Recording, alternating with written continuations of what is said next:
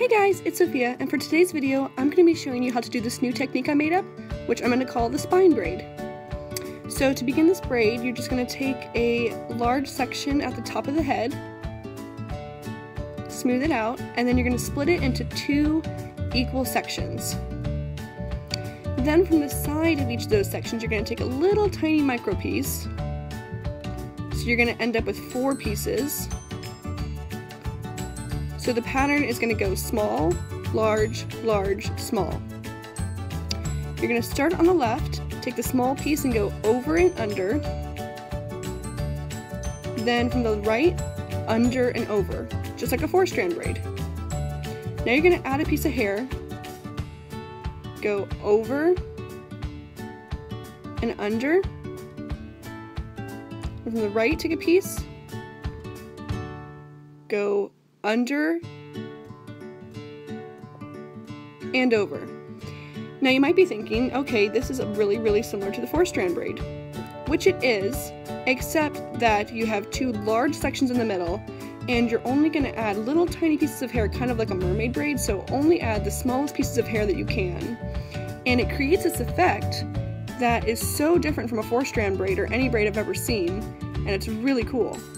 So when you're doing this hairstyle, you just want to make sure that you have those two super large sections in the middle and that you're only adding little tiny pieces of hair and then you get the cool effect which is a spine braid.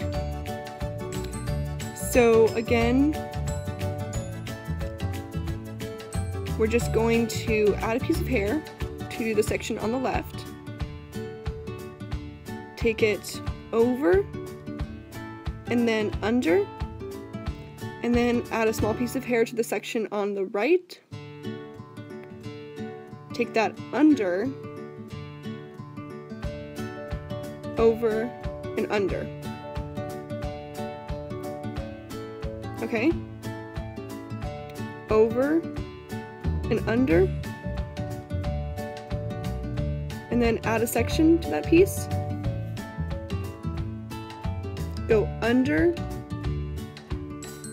over, and then under again. So you're only adding hair to the two small pieces of hair, and I hope that makes sense. But the main way to uh, learn how to do this braid is I think just by watching. So again, add a piece of hair, under, over, and then under again, add a small piece of hair to that section, go over, and then under, and keep going.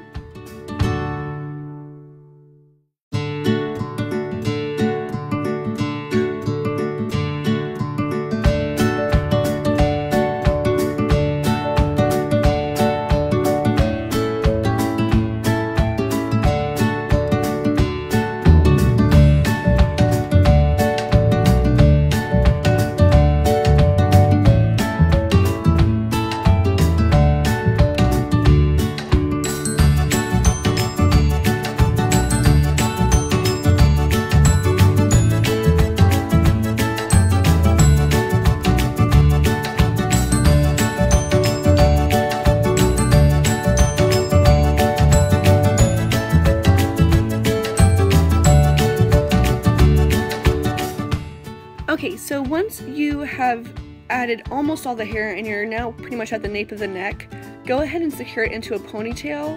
You could continue going all the way down, but I think it kind of gets rid of the effect a little bit because your side pieces have gotten so much larger by adding all that hair. So from here you can make it a bun, you could do a regular braid or a fishtail braid or something cool, uh, or add a cute bow, or really do whatever you want with this hairstyle. You could even do it as a side braid, whatever y'all want. Um, this is just the basic video to show y'all the technique, and I really hope that it helped. Um, please let me know if it did.